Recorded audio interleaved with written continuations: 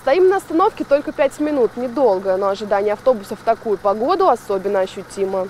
При температуре ниже 20 градусов замерзнуть можно и за 2 минуты, а ждать автобус приходится 5, 10 и даже 15 минут. И это несмотря на то, что общественный транспорт в городе переведен на усиленный режим работы.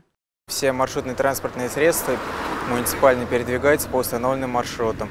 Например, если брать э, шестой маршрут, который у нас связывает северную и южную часть города, в настоящее время средний интервал движения с учетом заторов ситуации составляет порядка 10 минут.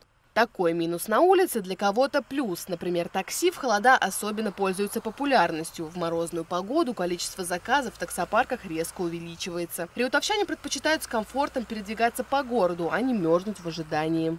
Такси уже стало как стало более доступным, не является роскошью. А, сравнивают уже его как с, с общественным транспортом, а, который не сбивается с графиков. А, на примере, если три человека едут к метро, то выгоднее уже поехать на такси, чем эти три, три человека поедут отдельно на, на, на маршрутке, автобусе.